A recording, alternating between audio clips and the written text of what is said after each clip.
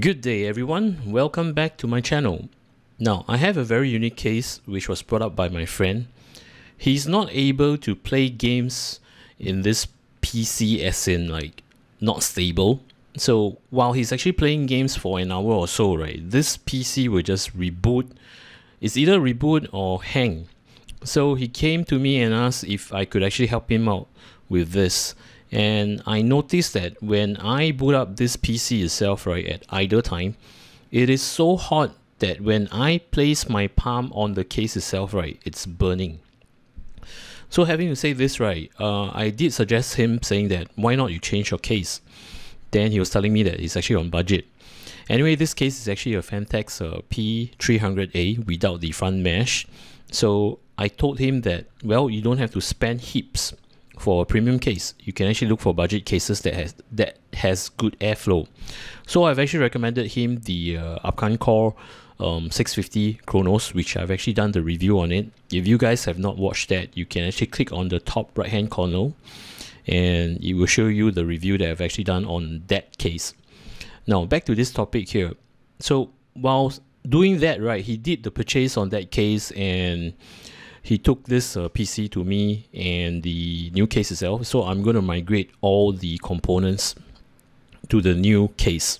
Besides that, right, he have actually spotted the uh, graphic card on my PC itself because I've actually mod my own graphic card. He find it interesting, so he asked if I could actually do that for him.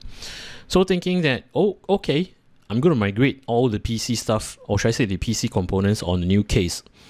And I do have experience on the mode uh, graphic card that I've done and it does help the temperature. So thinking on that fact, right, I agreed and I've actually done it for him. The specs of this case, right, include of a Intel Core i7 9700K processor, a Zotac 2080 Super twin fan card. For the RAMs, right, it's actually a 16 gig G Skill that runs at 2000 3200 megahertz. And of course, he tried to improve the situation whereby he purchased two AIO. One is actually for the processor, the other one is actually for the GPU. He's using a 240 mm radiator from ID Cooling for the processor and 120 mm AIO for the uh, GPU itself.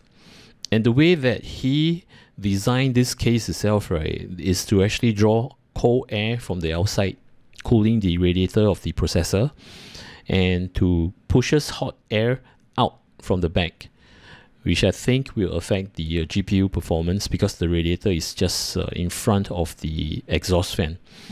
And next, at the top right, there's only 120 mm fan that is actually drawing hot air out. So having to say this, right, um, I would say that this is actually a decent um, setup, but it's just that it can improve. Reason being, right, as I see the um, AIO on the GPU itself, right, this card, mind you, is running very hot. I mean, I have actually not played a 20 T, uh, 2080 Ti card before or 2080 Super card before. I have never encountered such a hot uh, card. So as my guess is actually the hot air is dissipating, though he's actually having an AIO, right? I believe the card itself, the VRM, is dissipating heat surrounding the area. There are minimum of cool air coming in and though it's trying to actually exhaust the uh, warm air, but it, it accumulates. In the process, right, there will be certain certain parts. I will first show you the benchmark on the original um, casing itself. I'm not a professional overclocker. I'm just taking basic equipment to measure the temperature inside the case itself and outside of the case. Once I've done that, right, take down the readings, then I will show you the cleaning process whereby it's something interesting which I'm going to share with you. Then next will be molding on the graphic card itself. Then followed by mounting everything in the new case, including the graphic card. Once I've actually done all the molding and placing all the uh, component on the new case itself, I will do a final test on the temperature within the case itself. So let's get to it. Now on with the test, I've actually placed a sensor inside the case itself. It's reading at 29 degrees, 29.2 degrees Celsius and the case is actually fully closed. It's not turned on yet. and based on the outside temperature I'll just leave this aside now from the outside it's also 29.6 in fact it's a difference of 0.4 which I will remove off now I'm just going to run a benchmark and to let it run for a couple of minutes to show you the actual temp that is holding in this case itself. The machine is running so take note on the temperature itself which is actually 37.7 37.8 this is actually at idle not on load. And looking below right which is actually the sensor from the outside which is actually 30.8 degrees Celsius. So in the event of uh, if let's say this room temperature increase as I do the testing right I will judge on this okay right now I'm actually taking the reading of 30.6 degrees. So if this increase by 31 degrees right I will minus off 0.5 degrees off from the internal sensor.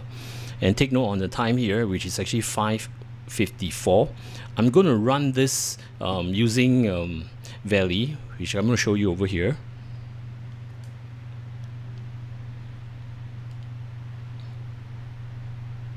I will be actually tweaking on Afterburner when I do the test and I'll be using the Valley to actually run it. I'll run it for a couple of rounds, probably about six rounds to benchmark it and then we see how the temperature inside the case will be.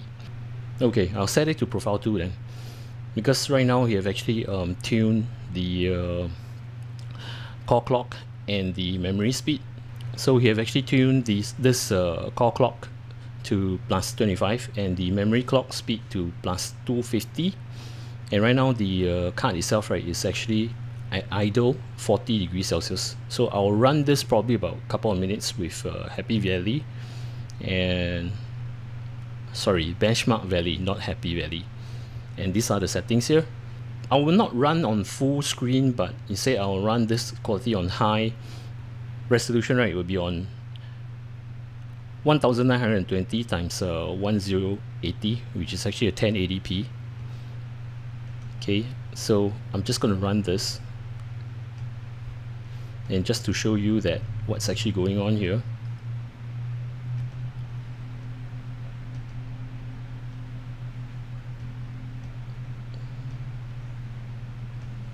Mouse is rather sensitive. Anyway okay as you can see here right the RTX 2080 Super is running on a uh, graphic clock or should I say the uh, core clock at 2100 megahertz and the memory is actually on 7750 megahertz. So I'll let it run and the temperature in fact is actually increasing. So I will show you the stats after um, probably I would say a few runs from the benchmark which I'm going to do right now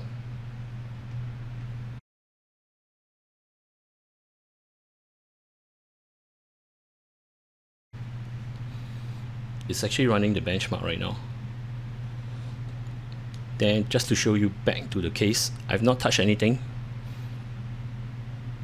The outside temperature is 30.6 to 30.5 30 to 30.6 as mentioned if it reaches um, 31 degrees Celsius right I will minus off 0.5 inside the case.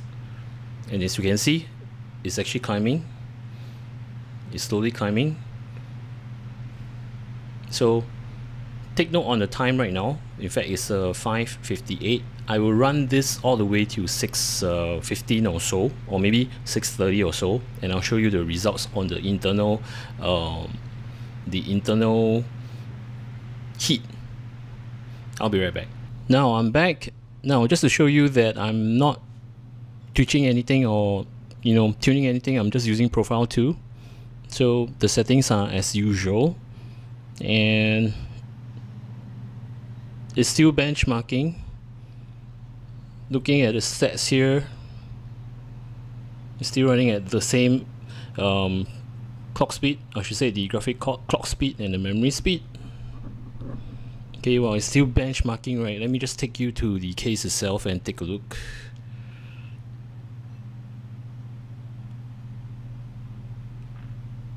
Okay as you can see right the um, temperature right now um, room temperature is 30.9 degrees. Somehow it's actually quite near to the case so more or less it will be affected. But still based on the fact that will minus off 0.4 which is inside the case and the temperature is so scary which is actually 45.6 um, degrees celsius. So if i were to minus off minus off 0.4 right is it will still be hovering around 45 inside so keeping this temperature in the case itself i'm not talking about the processing um, temperature nor am i talking about the gpu temperature. The gpu temperature in fact is um, around 72 or 71 but i still feel that it's not enough uh, cool air. And do note that the time that I've actually tested since uh, 5 plus till right now it's about half an hour's time. So this is actually the result that I got.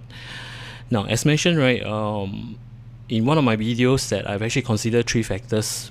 One of them which is actually the case itself I'm going to switch this case to a, a much better case and also to actually mod the uh, graphic card itself because um, based on the fact that yes he did attach the ID cooler the AIO itself onto the card itself but it seems like the air is not escaping off from the card. In fact it just escaped off from the top and the surroundings of the case itself. So I'm going to do that. I'll be right back and I'll show you the process on how I actually do the modification and to improve the situation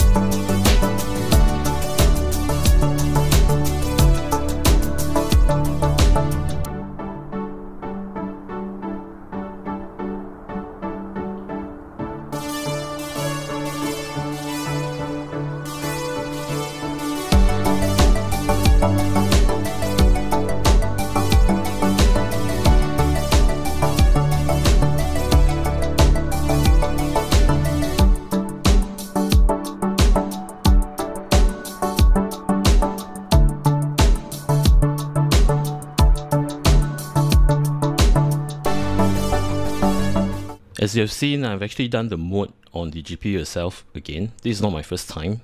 In fact, I've done it on my uh, own graphic card, which works pretty well. And I will go in depth telling you um, what are the changes that I've actually done. Now, looking on the original um, cover from uh, Zotac 2080 Super card itself, right? Um, this how it di dissipate heat is based on this fins here, which is inside so the fan will draw air and to blow on this heatsink and the hot air will dissipate from the sides from the front or even from the back. So it's dis, dis so it's dissipating the hot air on the card surrounding itself. So it will bring the hot air into the case either below or above or even in front part of the reason that I've actually moved this right um, is basically the direction of how the hot air is going to travel. As you can see that this is actually enclosed in a box shape. So when the hot, sorry, when the uh, cold air is sucked by this fan itself, right, it will forces or should I say channel out the hot air out from the back. So this will actually prevent um, hot air from dissipating from the sides. Now, another thing that I like to mention is that um, I've actually done a lot on this card itself. In, in fact, it's better than the uh, mode that I've done to my um, graphic card. Reason being, right, um, this strap here is not fixed. Okay, I've actually attached using Velcro stripes. The Velcro stripes over here. So that I can actually remove this and to clean the fan as and when that I wanted. Okay, this is one. Two is that um, instead of using long screw to actually uh, hold the back plate itself, right, I've actually made use of M2 uh, threaded screws with washers. And to hold on it, right, I'm actually using this. Okay, these are actually the uh, knurling screws. Sorry, the no knurling uh, bolts which is actually located inside if you can see. Right yep so this is the main reason why I've actually mod the uh, GPU itself. Now it might not look very glamorous or um, I should say fantastic on this card because there are no patterns but rest assured that it functions. It will function. And another thing is that um, slightly different from my card itself I need not have to actually extend this to actually sit on the casing itself. I'll show you later when I mount this in. What do you mean by sitting on the case uh, on the uh, motherboard itself? Because due to card that is very heavy, this is actually a very heavy card. This GPU itself, right? If you use the original shroud itself, right, it will just sag.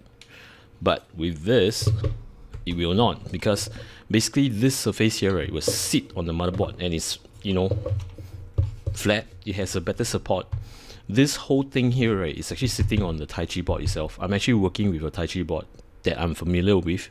So it will sit and making the card look straight and not, it's like straight and not um, sagging into one side. I'll be right back and to show you how I actually mount this, uh, how this is mounted on the case itself, or should I say on the motherboard itself. Now, this is the case that I've actually recommended my friend. In fact, it's a Abkoncore um, Cronos 650. It's a budget case, but it has very good airflow. And I've actually done the review on this case itself. So if you are interested, right, just click on the top right hand corner and it will take you to my review on this case itself. Now, before I mount the uh, GPU on the motherboard itself, right, just to highlight this, now, most YouTubers out there, right, they will just for demo purposes, right, having the case standing and vertical uh, and mounting it while it's actually standing. I would not advise that at all, especially when you are doing the uh, mounting of the uh, heatsink or should I say the AIO uh, block onto the processor itself and especially the GPU. So make sure that um, Okay, for my practice, right, what I'll normally do is actually I will mount the uh, RAMs, the processor, and the M.2 outside the case and make sure that it's actually lying flat. Then once you've done that, right, then you proceed on with the case with the case lying down. So once you have fitted all this in, right, next will be actually the uh, pump itself, or should I say the uh, block on the uh, processor. Reason being, if you don't place it flat and you apply the thermal paste itself and you just uh, place it right on top of it right? When it's when the case is actually standing right? You don't have a ground level or should I say you don't have a level um, balance to actually mount it properly. In fact you will just you know probably um, uh, sag one side. Then your paste will not be evenly pulled on your processor itself. So do take note on that.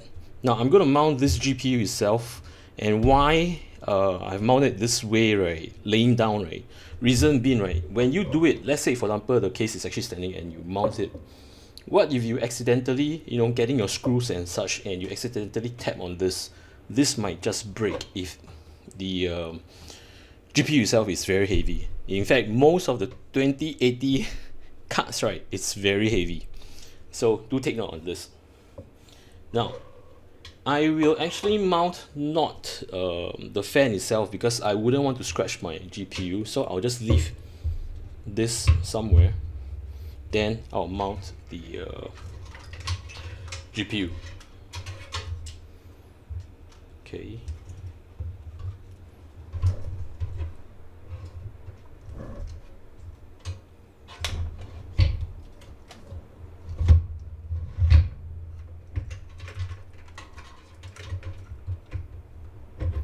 and make sure when you're mounting right you can see what is actually going on. Right now it's actually mounted. Then you mount the uh, fan itself. I'm gonna skip this part and I will show you the finished product and to highlight on some of the points that I wish to mention to you. Now do pardon me if I do shake too much because I'm actually holding a camera to show you. As you can see the GPU itself right is actually parallel to here and it's not sagging. Reason being, right, if you go closer, right, this point here, where the GPU sits is actually flush to this so it acts as a support so that your GPU will not sag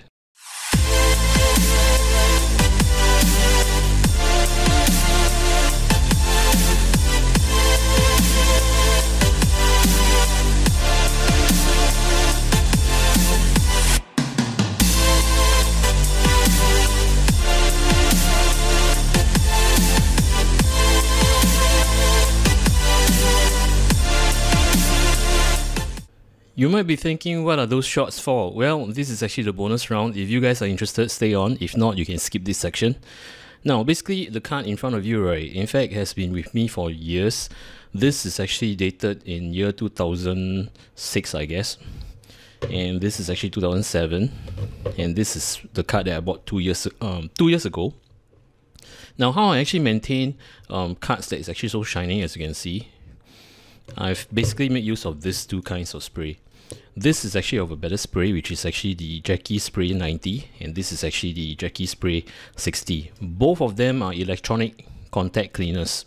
So what I normally do, right, before I mount any components on the PC itself, I would just spray one layer of uh, this, then let it dry, light layer. Then I'll just uh, plug to the uh, board and let it run. Do note that this electron electronic cleaners right do not bite on um, plastics but they do bite on thermal paste and thermal compound or maybe thermal um, tape. So do take note on this. Now as you can as you can see right um in my slides itself right what I normally do I'll just show you an example. So imagine that you have actually sprayed a layer of light coat and you've been using this card on the uh, PC itself and when it's time to clean right all you need to do is actually to take it out spray one layer let it sit. Then after about 5 or 10 minutes spray thick layer and use brushes like this the uh, toothbrush or things like that to brush on all those uh, edges all those uh, contact points etc etc so once that's done right use the spray again run down meaning to say spray gorgeous to let it drip. So all the dirt will just drip off from the cut. Once done right um, I'll actually go two round. The first round I'll just uh, spray and let it drip. Then sitting this way let it drip. Then once it's dry right I'll do another layer second layer. And once that's done right the final layer which not really layer I should say the final touch will be using this. These are those uh, ladies uh, so-called touch up um, face brush just do a light you know line kind of a thing. So as time goes by right this okay maybe I should actually show you this card. This is the year of 2006 or so. Till now it's still brand new. All right the contact points everything. It looks shining. So if you intend to maintain the card itself right you can actually sell off the parts um, that is looking brand new. I believe that most of the uh, sellers would, I mean, most of the buyers would like to actually buy this kind of cards. And having to say so, right, there is one last trick which is actually using the eraser. The contact point here, right, you can actually rub it. You will clean off the contact points. Just in case you want to troubleshoot some cards that is actually not um, detecting or so, you can use the eraser to clean off this point and of course you must use uh, okay probably not this another brush to brush off all the uh, residue. Okay hope you guys actually learned something. Um, this I have been using it for years and it's been working. As you can see that the uh, RTX 2080 supercard right I've actually gone through the, that process and it's working it's running which I'm going to show you right now the final result. Okay, the migration I've done and the um, GPU is in. Everything is in the new casing. Now, take note on the timing right now. In fact, it's actually um, 10.03 p.m. here. And the temperature outside is actually ranging 28.4. And inside is actually 28.4 to 28.5. It's about the same. So I will let it run at idle for about 5 minutes. Then we'll come back and see the uh, temperature itself. I'll be right back. Now as you can see that it's about 5 minutes or so right now and the uh, outside temperature is in fact 28 degrees or should I say 29 degrees Celsius. And at idle speed of this com right it's actually running right now is actually at 29.5 to 29.4 to 29.5 now I'm just gonna switch over to my screen see it's actually running. This is the com itself just to show you that the specs and everything I'm just gonna zoom into this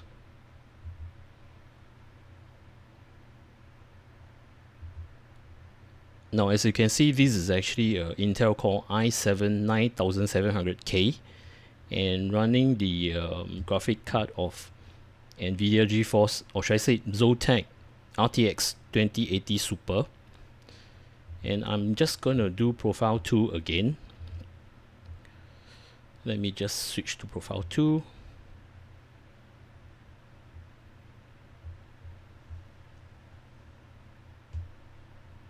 okay hang on okay this is profile 2 now I'm gonna run Happy Valley but this time instead of 1080p right I have confidence enough to actually run on Extreme HD so I'm just gonna run this test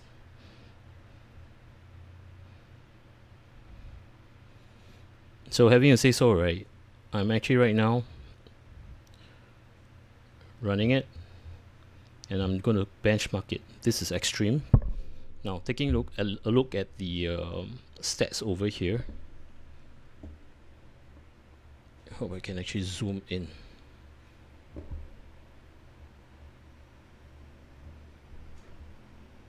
Okay, I'm not too sure if you can see, but the um, I should say the GPU core clock speed itself, right, is at 2115 megahertz, and the um, memory speed is actually 8000 yep correct. The memory speed is actually 8000 so I'm going to let it run for about 30 to 40 minutes. Okay let me just switch over just to show you that. See on this right I'm actually running on extreme profile. So I'm still running the benchmark. I'll keep on running it for about 30 to 40 minutes. And this is actually a temperature. Okay this is the external um internal temperature itself. And compared to the external. I'm back. Okay looking at the sand itself right now I'm tested more than 30 minutes and the uh, room temperature have increased from 29 to uh, I should say 28 degrees Celsius. It bring up to temperature. I guess it's actually the uh, warmth of the uh, how say the air in the atmosphere. Because my I can feel that the uh, exhaust from the card itself right is throwing hot air. So yeah pretty warm. And looking at the sand in the case itself right the temperature is actually 31.8 so my concept of the reference card it's uh, correct. In fact it pushes the hot air out. It doesn't reside on the case itself. That's why it's having this uh, room temperature. Now I did notice that um, okay I'm, I'm just going to bring you to the screen right here. Now I did notice that when I uh, run this right and I've been monitoring the uh, temperature itself it's pretty good. It's hovering about 59 to 60 which never hit 71 which I did on the old case. So this is actually a new case. So I am just going to bring it to one more profile up. This is actually the uh, profile tree as you can see it pumps. So you can actually judge that I have not do any tweaks or things like that because it's running still running consistently. I've not done anything. And still using the uh, oh probably I should actually zoom in and show you guys. Now what I did is actually while it's still running the benchmark right I'm actually um, toggling profile tree as you can see I click here and goes here. And this pumps up. And having to say pump up right I didn't do anything on the card itself. I didn't overclock. I didn't do anything just by default. So the CPU right which is actually the iCore i7 97000K is still running at about 4600 or 4800 and the graphic card as usual is using the uh, Zotac 2080 Super. Okay, back to the benchmark again, I should say. Okay, it's benching. So have a look at the stats. Not too sure if you can see it. Trying my best to actually focus. So just to okay, let me just move the camera there. Okay, just to let you know that the uh, graphic card is running on 21 15 megahertz again. It's actually the same. Hmm, no difference. Anyway, I'll still benchmark it since we have actually done the uh, profile tree. Let me just stabilize this thing here. I'll continue to benchmark it for about 30 minutes or so and I'll get back to you guys. And before I do so, right, take a look at the temperature here. And the time. Time is actually 10.53. The internal um, temperature is 31.8. I'm still running a benchmark. And the external, right, is actually 30.30 or 30.2. So I'll be right back after half an hour. Alright, I'm back and it's been like uh, some time 40 minutes or so or maybe more. Now look at the time right now it's 11:47 and the temperature in my room is actually 30.4 and this right I've been trying hard to actually get it up but it doesn't seem to actually go up. It just stays at 31.8 degrees Celsius. Now let me just bring you back to the screen itself and to explain what is actually going on okay as you can see here right um okay I'm not too sure if you can see. Now despite the uh, consistency itself right the temperature okay you can see here let me just switch. I'm actually run, still running on the benchmark itself. Wow at the background right I'm running hell a lot of programs. All videos. One hour three hour videos and I even come to the extent of running this uh, they call it I think a DC or it's actually from Afterburner itself so I actually run the test itself. I'm trying to actually get the temperature up but it does not. And to my surprise right this thing here does not move at all. It will just stay at 48 49 degrees Celsius. Where else when I test mind you this is actually profile 2 or be whether profile 1 or profile 2 right it doesn't go beyond 71 degrees celsius which i've tested on the old um, pc itself. And that test is only on profile 2 that's it. And over here i'm actually testing on the background etc etc maybe it's actually not an unfair test. I wouldn't know but i'm just trying to get the temperature up. But it doesn't seem to actually do that. So be whether i run this be whether i run a few videos on the background and while doing the benchmark. Okay see while doing the benchmark okay I can actually go again. It's been like minutes. I've been trying so hard to get this uh, temperature up but it doesn't. It will hovers at 47 degree sorry 57 degrees 58 59 60 that's it. And it doesn't go beyond. And the temperature right now right as you can see okay it did spike up a bit but it went down. See the moment when you go 32 it went down again. So this proved the theory that um, those people who actually get the um, graphic card as reference right it's pretty good because it does push the air out from the back. But having to say so right having a reference card is it can be very noisy. So the AIO route which actually I've done this hybrid mode. The reason why I done this hybrid mode right is because that it's quiet and furthermore it does the function of pushing the hot air up to the back so that it will not cause the uh, heat over at the processor um, area. There you have it. The results are out, and I believe that my friend will be happily playing games on this PC for hours because I've actually reduced the uh, temperature and I believe it does help the GPU and the processor not to thermal throttle. So if you guys intend to get premium products and to fit in a small case right, try not to. Get at least a good airflow case and to choose the fan wisely of what you use. So I hope you you guys have actually enjoyed this uh, journey with me as I've actually learned quite a number of things through this uh, experiment. Alright then, I'll see you guys in the next video. Take care. Goodbye.